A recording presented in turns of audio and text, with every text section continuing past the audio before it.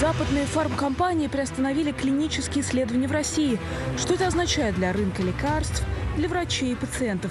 Сегодня Это абсолютно не паническая ситуация. Значит, у нас, во-первых, приняты как бы, ну, не хочу называть это ответными мерами, но меры, которые в случае необходимости позволят получить ну, фактически любой препарат, который э, обращается где-то на мировом рынке. и в будущем. И мы видим э, некоторых пациентов, которым явно в рамках исследования э, препарат помог. И для них э, доступ к клиническому исследованию – это ранний доступ к новому инновационному лекарственному препарату. В общем масштабе страны, наверное, это ну, не так уж и... То есть никто не заметит. Какие разработки наращивают российские фармкомпании? В августе мы получили разрешение на проведение клинического исследования при спинальной мышечной атрофии, где будут участвовать детки до 8 месяцев. Также активно реализуется программа при нейробластоме, также у пациентов младшего возраста. И какие оригинальные собственные инновационные исследования проводятся прямо сейчас? Это новая мишень. На рынке на сегодняшний день а, препаратов к этой мишени нет, поэтому молекула уникальна, и мы а, планируем эту разработку а, выводить не только в России, но и в мир.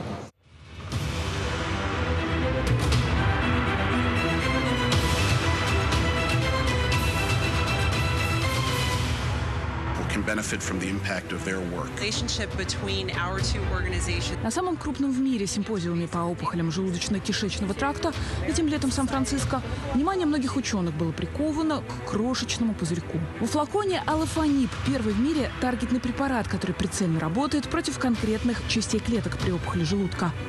Лекарства, бьющие именно по таким мишеням, разработали два ведущих онколога из России – профессор Сергей Тюляндин и онколог Илья Тимофеев.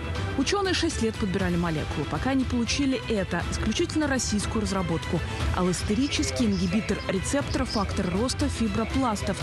За этими наукообразными словами суть открытия – ударить точно в цель, когда пациенту уже ничего не помогает. Таких препаратов в мире еще не было. Мы нашли, что данная мишень экспрессируется, имеется на клетках рака желудка и на клетках рака яичников, э, которые очень распространены в России.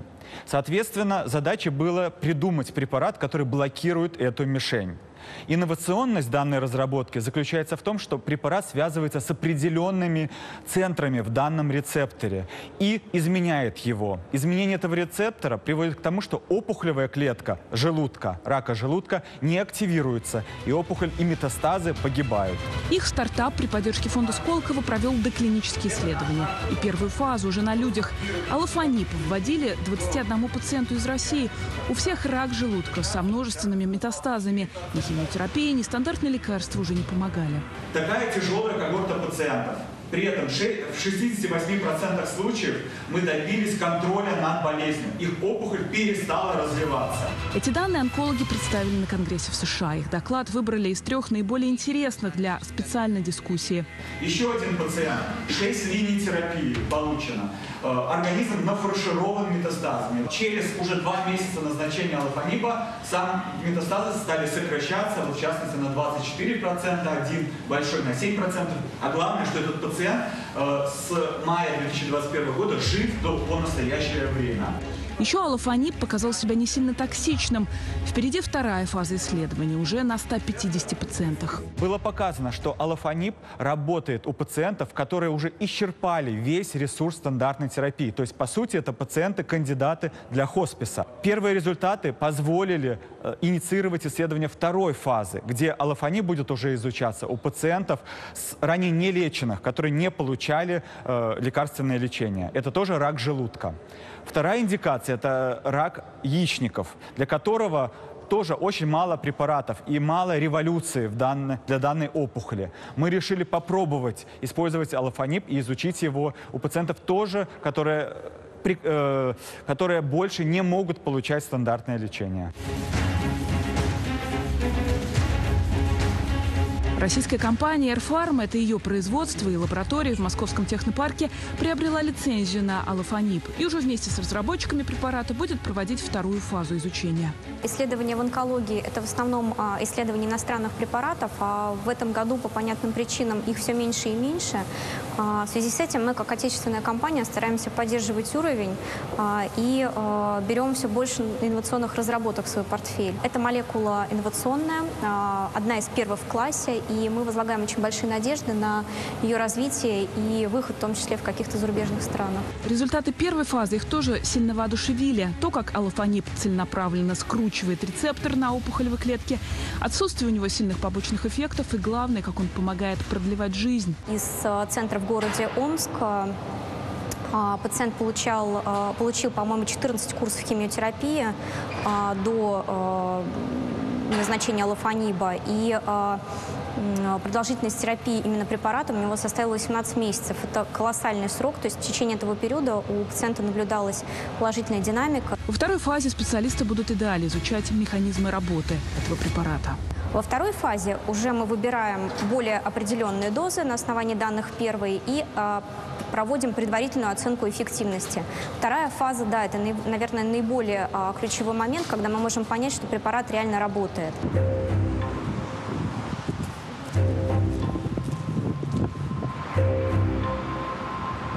А, Мы находимся в отделе клинических исследований эндокринологического научного центра. Здесь ежегодно идет около 30 клинических исследований различных лекарственных препаратов, которые исследуют у пациентов э, с разными видами эндокринопатий. Это святая святых нашего отдела, э, помещение для хранения биологических образцов, которые мы получаем в рамках исследований. Сегодня в ведущем Федеральном эндокринологическом центре России около 200 добровольцев. Те, кто согласился протестировать на себе новые препараты. Когда все лежат под капельницами, это, как правило, очень ранние фазы исследований, и чаще всего это здоровые добровольцы. А когда речь идет о пациентах, э, реальных пациентах, которые участвуют в исследованиях, это, конечно, индивидуальный подход. Здесь всегда проходили и российские, и чаще международные исследования от 20 до 40 программ в год. Продолжаются все исследования, которые были начаты, э, где пациенты были включены, и лечение их продолжается. Но, с, наверное, с марта или с апреля практически во всех новых исследованиях международных был остановлен набор. Сначала это были логистические проблемы, а затем просто вот было принято решение остановить набор. В центре всегда тестировали инновационные лекарства и биоаналоги российского производства, в том числе и новые виды инсулина. Вот этот сахар 8,2 как сейчас? Насколько хороший? Сколько после еды прошло уже времени? Часа полтора. Часа полтора. Это очень хороший. Первая в мире инъекция инсулина была сделана ровно сто лет назад. В России сегодня около 5 миллионов человек с подтвержденным диабетом. Пока идет совершенствование в пользу вот именно технических средств управления диабетом, которые облегчают это управление при этом позволяет достичь такого уровня глюкозы, настолько близкого к нормальному, что продолжительность жизни на сегодняшний день не ограничена, осложнения не развиваются вообще.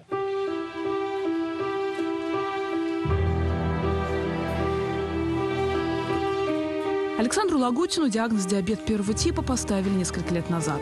Он участвовал во всех возможных клинических исследованиях в Центре эндокринологии и российских и импортных лекарств. Когда, например, вот эти э, суточные исследования были, я агитировал в сети ну, людей с сахарным диабетом первого типа, ну, парней, естественно, потому что там только мужчины могли участвовать. И довольно-таки большой процент э, людей, которые приходили, читали информированное согласие и понимали, что они не хотят, что они опасаются за свое здоровье. Да. Ну, потому что это не курорт, на самом деле.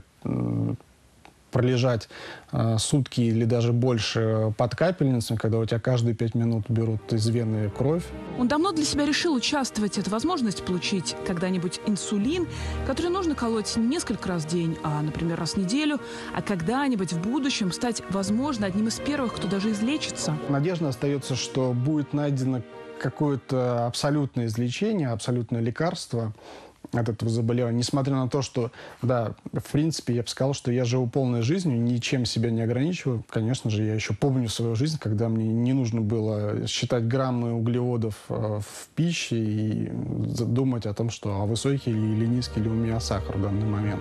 Возможно, уход многих западных исследований из России в масштабах страны никто и не заметит, но если речь не идет о смертельно опасных болезнях.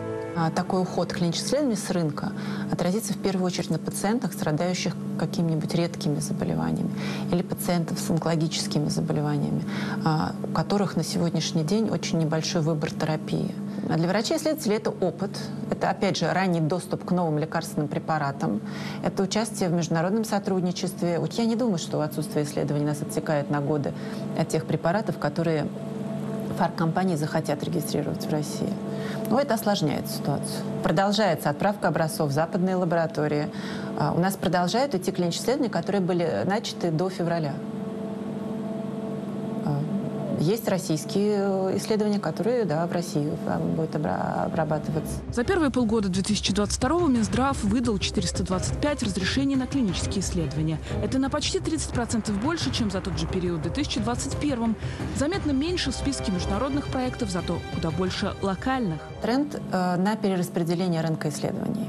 Общее количество э, исследований за первое полугодие этого года э, даже больше, чем за, э, за первое полугодие прошлого года или в среднем по статистике за 17-21 годы. Мы сейчас говорим про статистику, которую публикует Ассоциация организаций, э, организаторов клинических исследований. А, Но во втором квартале уменьшается количество международных клинических исследований и увеличивается количество локальных исследований, увеличивается количество российских исследований биоэквивалентности. А, То есть больше относительная доля российских исследований выросла, доля относительно международных снизилась. В России зарубежные фармкомпании часто проводят уже последние фазы исследований. Там уже оценивают эффективные дозировки, побочные действия, и почти всегда это препараты от самых опасных болезней. Что значит для пациента клинические исследования? Мы понимаем, что часто это прорывные инновационные препараты в таких сферах, например, как онкология. И для пациентов э, набор в клинические исследования значит, иногда значит спасение жизни. Объединение пациентов России уже обратились к западным фармкомпаниям с просьбой вернуть исследования в страну. То есть это, вы знаете, в чем-то такой закамуфлированный, но отказ в будущем в поставке жизненно спасающих лекарственных препаратов в нашу страну. Поэтому мы считаем, здесь интересы и права пациентов очень здорово э, нарушаются. Конечно же, российская фарминдустрия идет вперед, и есть э, целая плеяда компаний, которые работают на высочайшем международном уровне.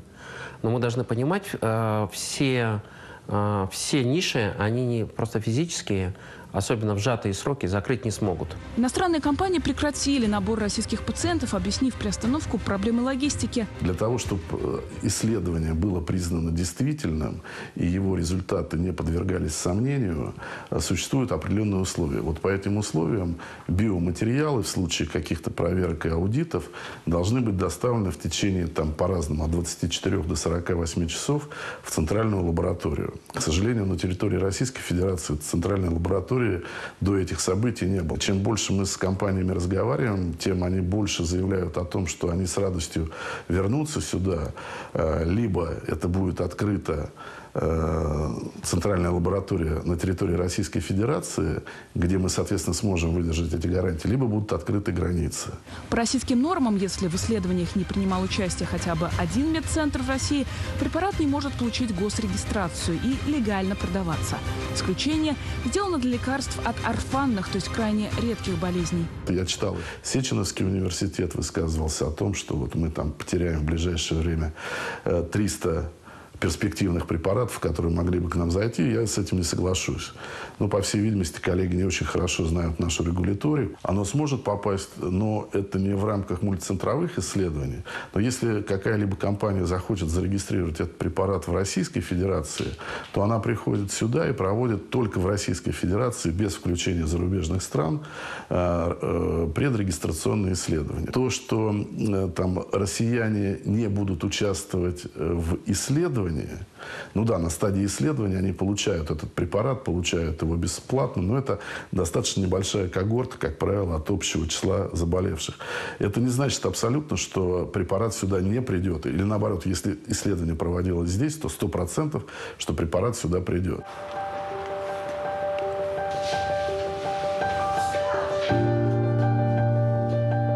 У Татьяны Ивановны из Томска редчайший диагноз – синдром Шогрина. Появилась сухость в органах глаза, нос, во рту. Кожа очень сухая была. И проблема с глазами у меня, со зрением. как бы не фокусировалось зрение. Я работала в проектном институте, и я вдруг перестала перестала работать так, как прежде. Диагноз мне поставили, в общем-то, достаточно скоро, практически сразу. Ну, насколько я осведомлена, то это заболевание достаточно редкое, ревматологическое заболевание аутоиммунное. И поэтому лекарств, которые непосредственно лечат именно э, это заболевание, его нет, а именно э, те, которые смягчают э, симптомы. В этом центре, который специализируется на клинических исследованиях инновационных препаратов, она попала в программу, тестирует новое российское лекарство от ее болезни. Да, лечилась раньше, у меня именно было смягчение симптомов заболевания – а сейчас лечат именно, именно болезни, именно синдромы мои. Я замечаю в последнее время, что мне стало легче, уходит сухость э, и остальные симптомы. Поэтому я вижу, что мне идет на пользу вот именно это лечение. Э, с периодичностью две недели э, я приезжаю в клинику, проводят обязательно обследование, исследования нужные в данное время и ставят укол. А следующие две недели я уже пришла к такому моменту, что сейчас я оставлю себе сама дома эти уколы, все препараты мне э, даются в руки. Она уже два года в программе. Это возможность не только помочь ученым, но и самой получать быстрый доступ к лечению и проходить бесплатные обследования. Надеюсь получать это долго лекарство, пока идет э, процесс э, исследования. Вот. И потом, если оно пройдет это э, обследование э, с положительными результатами, оно выйдет в продажу, то тогда я тоже смогу его получать.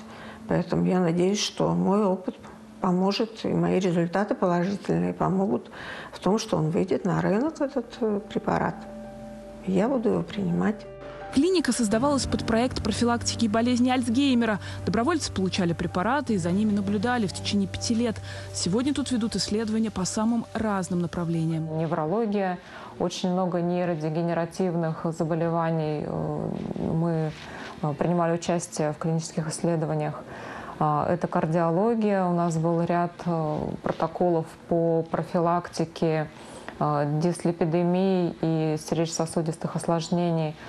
А, мы работаем в психиатрии, в том числе в детской психиатрии. С весны набора в новые западные исследования тут прекратились, но при этом уже начатые испытания продолжаются и, как обещают компании, будут доведены до конца. Когда стали останавливать а, новые исследования в России,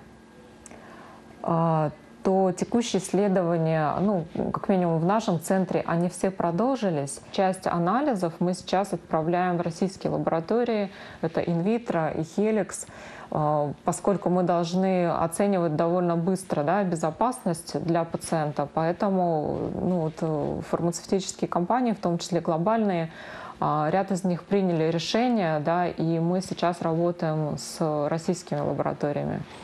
В то же самое время те образцы, которые требуют а, оценки в центральной лаборатории, они продолжают поступать в центральную лабораторию, несмотря ни на какие сложности.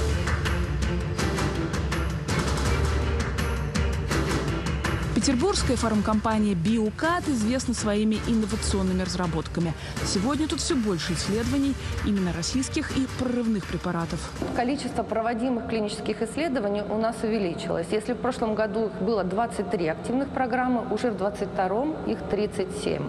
И мы планируем увеличивать количество проводимых одновременно клинических исследований. Компании выдано разрешение на изучение оригинальных препаратов, разработанных в России, в том числе для терапии меланомы и других заболеваний. В августе мы получили разрешение на проведение клинического исследования при спинальной мышечной атрофии, где будут участвовать детки до 8 месяцев. Также активно реализуется программа при нейробластоме, также у пациентов младшего возраста. А, интересным является исследование нашего оригинального и не похожего ни на какие другие препараты для лечения болезни Бехтерева Это по-другому называется спондилоартрит. И сейчас уже завершается набор во вторую фазу клинического исследования. Сначала это были обычные боли в спине, потом и уколы блокады уже не помогали.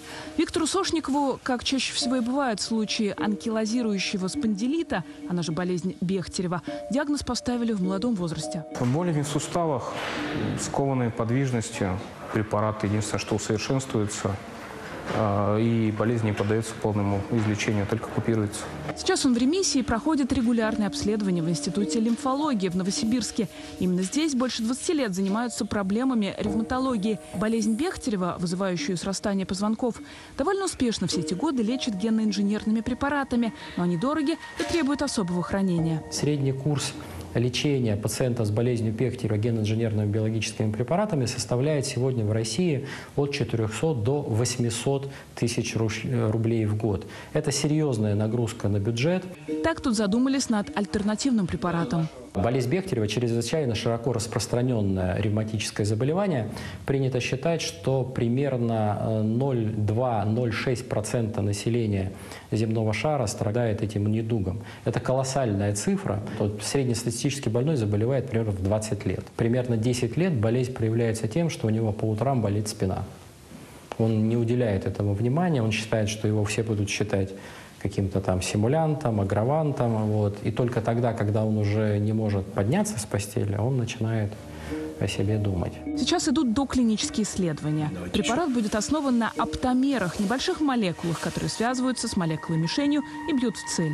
Оптомеры – это синтезированные, искусственно, химически синтезированные короткие фрагменты нуклеиновых кислот, которые способны специфично связывать строго определенную молекулу мифень.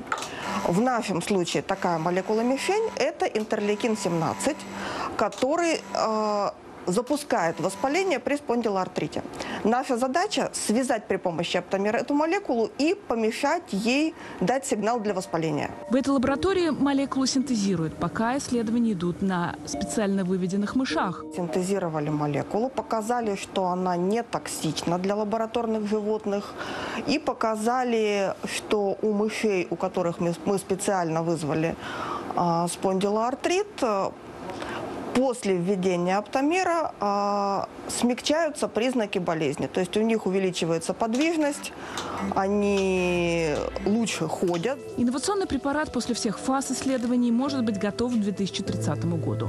Новое вещество пациенты должны будут колоть, как диабетики, инсулин всю жизнь. Поэтому для него в институте разрабатывают и ручку-гаджет для инъекций. Максимально удобно было бы создание специального устройства, в котором был бы резервуар с лекарственным препаратом а, на примере инсулиновой помпы или инсулиновой ручки, которая длительное время может находиться с пациентом вместе, и при этом лекарственный препарат не портится, не теряет свою эффективность, сохраняет привычную активность. И вот а, оптомерные технологии позволяют нам предположить, что такое устройство может быть создано. Исследование пока на старте, но сотрудникам института уже удалось проверить препарат на безопасность.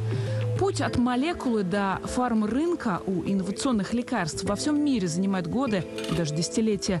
Но только так, шаг за шагом, ученые работают над тем, чтобы в будущем их препараты были доступны большему количеству пациентов.